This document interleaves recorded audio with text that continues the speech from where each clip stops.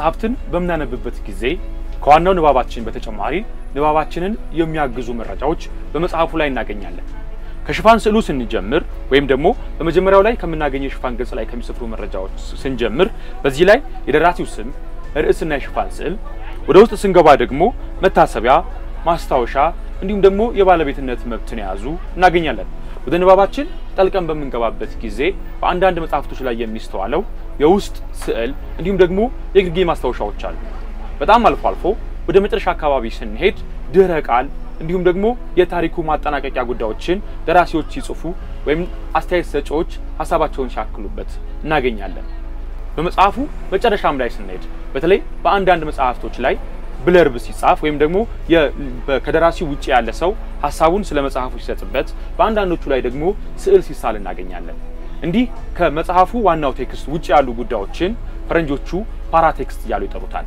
በሀገራችንም ይህንን paratext የሚል ሀሳብ ቅውድ ብለው በአማርኛ አልምደውታል። በእንግሊዝኛ paratext ለሚለው ቃል ፍቺ ስፈልግ በአማርኛ አጣሁ። ስለዚህ ምናልባት ስለ ፓራቴክስ ካነበብኩ በኋላ ሊስማማ የሚችለው በዚህ መልክ ቃሉን በመሰረት ነው በሚል ቅድመ ውስጥና ድህረ የሚለውን ወሰድኩና የመጀመሪያ ፊደላቸውን በመውሰድ ቅውድ አልኩት።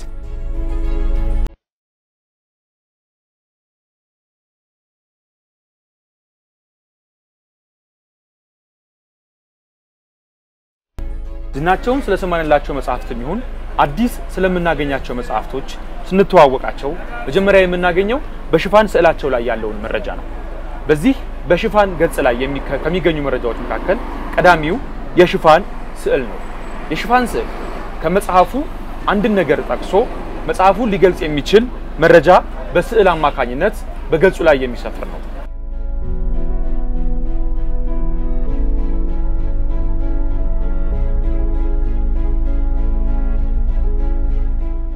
በኃይል descriptive ባይሆን በኃይል ዝሩ ገላጭ ባይሆን ይመረጣል። እንደ ቅኔ ቋጠር ያለ ለትርጉም የተከፈተ ሆኖ visually ቢቀመጥ መግቢያ በር ስለሆነ ወደ ትረካው ወይም ወደ content ኡ መዝለቂያ በር ስለሆነ ከእይታዊ የግንኙነት ስርዓት አንጻርም በጣም ትልቅ ጉልበት ስላለው አንባቢያን ወይም ኦዲየንስ ላይ በጣም በከፍተኛ ጥንቃቄ የሚያነጋግር ሆኖ የሚጋብዝ ሆኖ እይታ የሚስብ ሆኖ እይታዊ ምቾት የሚፈጥር ሆኖ እንዲሰራ ያስፈልጋል።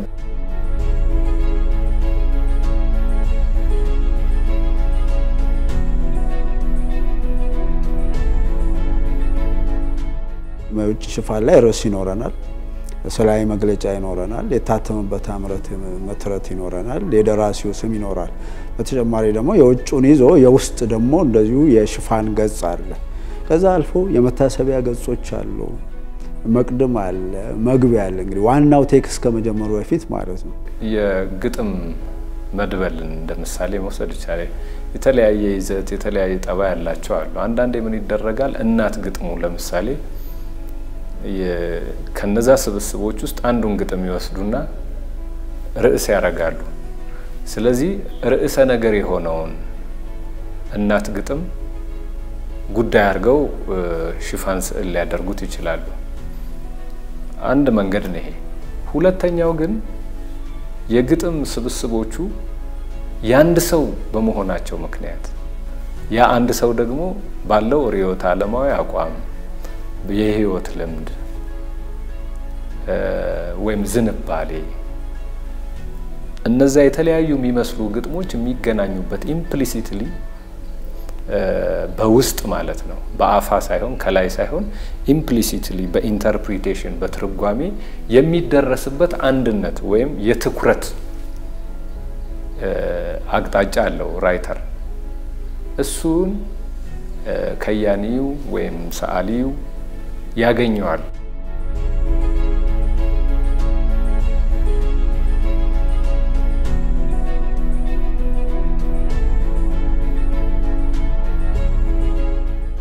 ቴዎድሮስ ገብሬ አደፍርስን ሲተነትነው አደፍርስን አስተውሎ እንደሆነ የመጀመሪያው ገጽ ላይ አደፍርስ ቆሞ ከስሩ ገበሬዎች ወይም ባለጉዳዮች ተኮልኩለው መግለጫ ሲሰጥ ነው።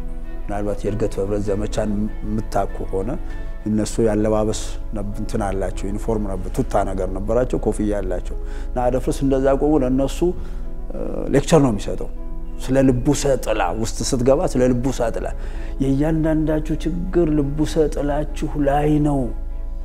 የእያንዳንዳችሁ ችግር ልፈታ የሁላችሁ ችግር ተሰብስቦ ሲታይ ልቡሰ ጥላችሁ ላይ ነው ይላል። ምንድን ነው መግለጫ እየሰጣቸው ነው። እነሱ እያንዳንዱ ነገረተኛው በውስጥ ስትገባ አጎቱ ዳኛ ስለነበሩ እሱ service ሄደው ነው ዩኒቨርሲቲ ተማሪ ነው ሊያስተምር ነው ሄደው ግዳጅ ነገር ግን አጎቱ ዳኛ ስለነበሩ እሳቸው ለዳኝነት እዛ ሲሄዱ ባለጉዳዩ ሁሉ እሱ ጋር እየመጣ አማልደን አይነት ነገር ነው። ስለዚህ የእያንዳንዳችሁን ችግር ልንፈታ አንችልም። በዚህ ችግሩ ሁሉ ስሩ ልቡሰ ጥላችሁ ግን ምንድን ነው ልቡሰ ጥላ? አሁን ከእንትኑ ጋራ የዛ ዘመን ትውልድ ያልተግባባው በዛ ነው። ፖለቲከኛውና ህዝቡ የተለያየ ቋንቋ ነው የሚያወሩት። ምሁሩና ህዝቡ የተለያየ ቋንቋ ነው የሚያወራው። እሱ ሊያገለግል ሄደ፣ ግን የሚያወራው በሌላ ቋንቋ ነው፣ በእነሱ ቋንቋ አይደለም። ምን ይላል ይላሉ እኮ እዛ ጋር የሆነ ቴክኒክ አለ፣ ነፃ ቅንጅት የሚባል የሚላቸውን ስለማይረዱ ምን ይላል ይላሉ እነሱ እርስ በራሳቸው። ስለዚህ መግለጫ ሲሰጥ ነበር።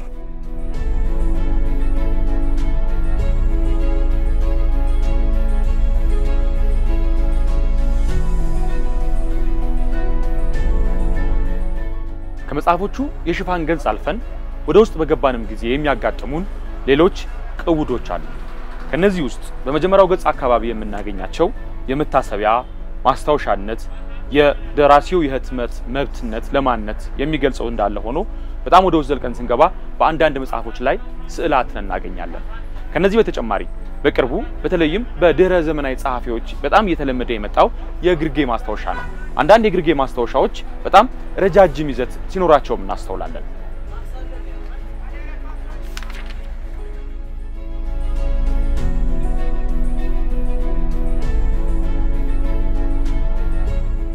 ውስጥ ስንገባ ደግሞ አንዳንዴ ለምሳሌ ስነ ግጥም የስነ ግጥም ማድበል ብንወስድ እያንዳንዱ ግጥም የራሱ ፓራቴክስቶች ይኖሩታል ወይም ቁድ መግለጫ ይኖረዋል። ምን ማለት ነው? ለምሳሌ ያ ድርሰት ያ ግጥም መቼ ተጻፈ? በ2012 እዚህ ቦታ ሊልህ ይችላል። አንድ መናፈሻ ውስጥ ወይም ሐይቅ ዳር ወይም የሆነ ለጉብኝት ሄዶ አናገር ሊሆን ይችላል። እሱን ያስቀምጣል። ወይም መታሰቢያ ይኖረዋል። ግጥሙ መታሰቢያነቱ ለገሌ ይላል። ያችን specific ግጥም ማለት ነው። ዋናው ድርሰት እንደሚደረጉሉ specific ግጥሞች እንደውም እዚህ ዘመን ላይ ያየሁት አንድ አጭር ልቦለድ መድብል ቢኖር እያንዳንዱን አጭር ልቦለድ ለአንድ ሰው ወይም ለተለያዩ ሰዎች ሰባት ቢኖሩ ለሰባትና ለስድስት የተለያዩ ሰዎች መታሰቢያ የሚያደርጉበት ሁኔታ አለ። አንዳንዴ ስላዊ መግለጫ ይኖረዋል። የግጥሙን ምናልባት የግጥሙን መንፈስ የሚገልጹ የሚያጎለብቱ የመሳሰሉት ነገሮች የሁሉ ነገር ግብ ምስል መፍጠር ነው ይላሉ። ምን ማለት ነው? ስነ ጽሁፍም ብትለው ግቡ ምናባዊ ምስል መፍጠር ነው። የሚቃትተው በገለጻ የሚሰቃየው ቋንቋን እንደፈለገ የሚለጥጠው የሚያኮማትረው የሚወጥረው አንባቢ ምናብ ውስጥ ጠንካራ ምስል ፈጥሮ የማይረሳ እንደ ሐውልት የቆመም ባይሆን ጠንካራ ምስል መፍጠር ነው። ሰዓሊም ግቡ የማይረሳ ምስል መፍጠር ነው። የሚጠቀሙት medium ነው የሚለያየው። ስለዚህ ከዚህ ጠንካራ ፍላጎታቸው ተነስተው ነው ስነ ጽሁፉ ደግሞ እንደገና በስዕል እንዲታገዝ የሚፈልጉት more ተጨባጭ ምስል አንባቢ ላይ ለመተው ከመፈለግ ነው። ይሄ በቆየው በልማ የስነ ጽሁፋዊ ልማድ ውስጥ ነበረ። በጣም የታወቀ የተለመደ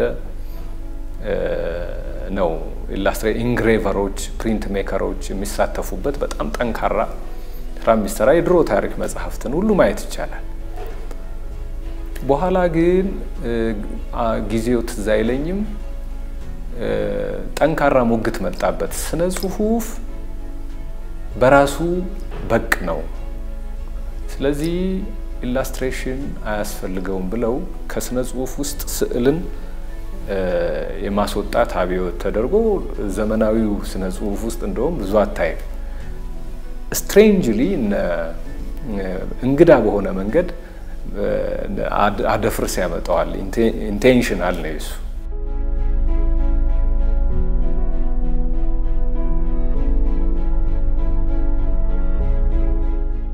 አዳም ረታ ግርጌ ማስታወሻዎች ይጠቀማል በብዛት። ግርጌ ማስታወሻ ምንድን ነው? ያው ተጨማሪ ነው አይደለም። እንዲያውም በመጽሐፍ ቅዱስ ላይ ግርጌ ማስታወሻ ታች አለ። የዋናው ታሪክ አካል አይደለም፣ ግን ተጨማሪ ማብራሪያ ነው። አዳም ላይ ይሄ ቅውድ ነው ዞሮ ዞሮ extra ስለሆነ ግን ይሄ ውስጣዊ ውስጠ ያልነው ቅውድ ስንል ው የምትመለከተው እሷን ነው። አዳም ላይ ስንመጣ ግን ምናልባት ስለ ድርሰት አጻጻፉ ሲያወራ ህጽናዊነት የሚለው ነገር አለ። ህጽን ማለት ደግሞ ወሽመጥ ማስገባት ነገር ማስፋት መለጠጥ ነገር ነው ይላል። ስለዚህ ግርጌ ማስታወሻ አንዳንዴ ደግሞ ይሄ ኢንድኖት የምንለው መጨረሻ ላይ ያም ማስታወሻ ሲያስገባ ተጨማሪ ማብራሪያ ለመስጠት ብቻ ሳይሆን ራሱ የታሪኩ አካል ይሆናል። እዛቻ አያበቃም። አይተው እንደሆነ አንዳንዱ ዘለግ ይላል፣ ሶስት ገጽ አራት ገጽ ይወስዳል እና እንደውም ያ ታሪኩን የንባብ ባህሉንም ራሱ ይለውጠዋል። አንደኛ እሱ ራሱ እንደሚለው የእኔ ልቦለዶች ሊኒየር በሆነ መንገድ አልተጻፉም ነው የሚለው። እንግዲህ ሊኒየሪኬሽን ምንድን ነው? ወደ ማት ይወስዳል። ብቻ ቀጥተኛ በሆነ መንገድ አሁን ፍቅር እስከ መቃብር እስከ ልደት እስከ ሞት አይደለም፣ በዛ አይነት ስልት አልተጻፈም በእያንዳንዱ ምዕራፍ በእያንዳንዱ ክፍል መካከል ተገቢ የሆነ ግንኙነት ሊኖርም ላይኖርም ይችላል ነው ብሎ የሚያስበው። ስለዚህ እነዛ የሚያናጥቡ ነገሮች ናቸው።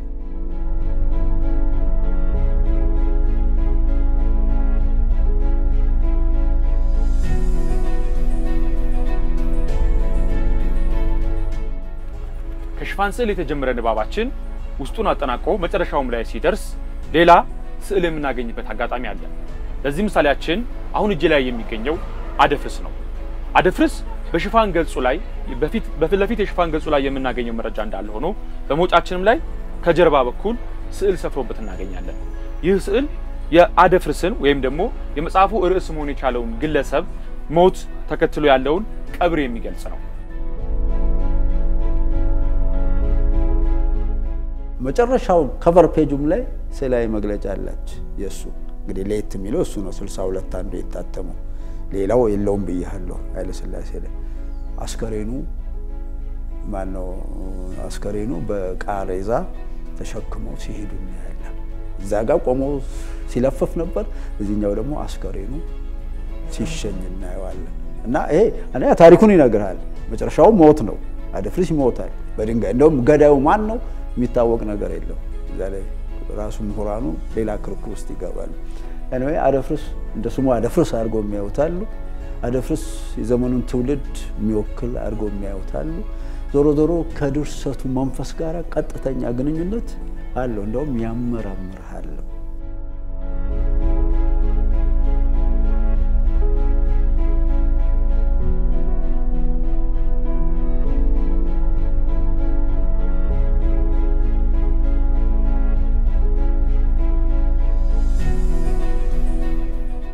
ሁለት መቶ ሶስት መቶ ገጽ ቆሞ book store ሊገዛልህ ሊያነብልህ አይችልም። እዚህ ያንን መጽሐፍ ጥሩነት አውቆ ወስኖ አይገዛም።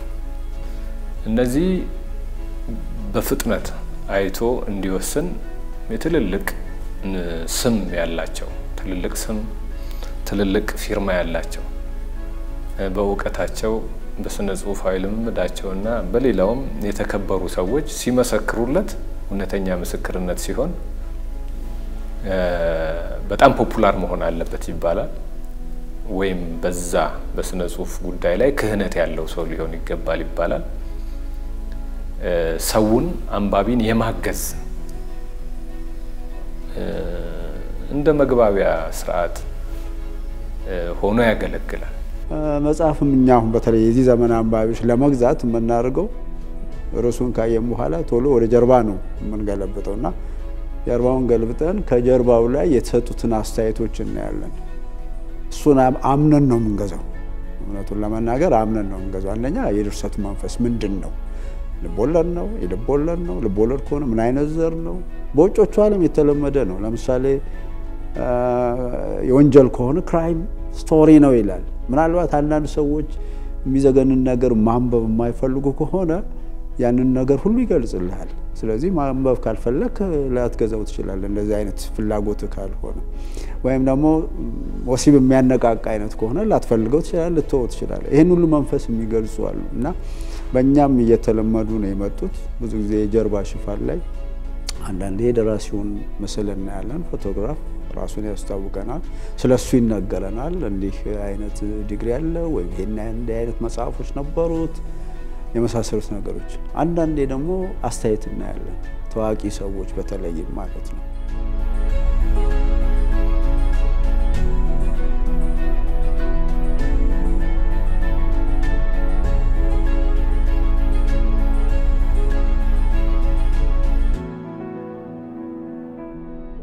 ኃይለሥላሴ ዘመን ላይ ስንመጣ ፊት ያላስተዋልኳቸው ብዙ ነገሮችን ማስተዋል ቻልኩ። ለምሳሌ የጀርባ ሽፋን ብታይ ሌጣ ነው። በኃይለሥላሴ ዘመነ መንግስት ሌጣ ነው። በቃ በዚህ ማተሚያ ቤት ታተመ፣ ከዛ ውጭ የለው። ወይም ደግሞ ዋጋው ነው። የደራሲው ፎቶ የለም፣ የሚያጽፉት ባለሙያ የለም፣ ወይም ከመጽሐፉ extract ተደርጎ የሚወጣ ነገር የለም። ለምን የሚለው በኋላ የሚመጣ ነገር ነው። እንደው ልዩነቱን ለማየት ብቻ ማለት ነው። ደርግ ውስጥ ላይ በሚመጣበት ሰዓት አሁን ከፊት ከዋናው ይዘት ቀድሞ ያሉት መግለጫዎች ላይ ስናይ በጣም የገረመኝ ነገር ይህ መጽሐፍ በዚህ ዓመተ ምህረት ታተመ ለማለት የሚጠቀሙበት ቋንቋ የተለየ ነው። ይሄ መጽሐፍ ንጉሠ ነገሥቱ በተወለዱ በአርባ ዓመታቸው ታተመ ሊል ይችላል። ይሄ ማለት እንግዲህ በተወለዱ የተወለዱበትን ዓመተ ምህረት ትይዝና አርባን ጨምረህ ታደርጋለህ ማለት ነው። ወይም ሁለት አማራጭ ነው ያለው። ንጉሠ ነገሥቱ በነገሱ በ23 ዓመታቸው ይላል። እንግዲህ 23 ዓመታቸው ካለ በ1923 ነግሰዋል። ስለዚህ በ1946 ታትመዋል ማለት ነው። almost የደርግ ኃይለሥላሴ ዘመን ላይ የታተሙ መጽሐፎች በዚህ መልክ ነው የሚወጡት። እንቱ መጽሐፍ ታተመ፣ ግዕዝ ነው ደግሞ በአብዛኛው ታተመ ብሎ የተወለዱበትን ወይም የነገሱበትን ጊዜ ይገልጻል። እንደ visual text ይጠናሉ፣ ይተረጎማሉ። ስነ ጽሁፋዊ አዝማሚያን ይጠቁማሉ። የዘመን መንፈስን ሁሉ የሚያሳዩ ይሆናሉ እና ትልቅ ጉዳይ ናቸው ራሳቸው ዝም ብሎ ማስጌጫ፣ ማብለጭለጫ፣ መማረኪያ ብቻ አይደሉም። ራሳቸውም እንደ አንድ visual text የሚጠኑ የሚተረጎሙ፣ የሚተነተኑ እና የዘመንን መንፈስ የሚያሳዩ የዘመንን ፍልስፍና እና የዘመንን ቁመና የሚገልጡ ሆነው ያገለግላሉ። የደርግን ስርዓት ወይም መንግስቱን የሚያወድሱ መታሰቢያዎች ይኖሩ ይሆን ብለህ ይሆናል። የለም።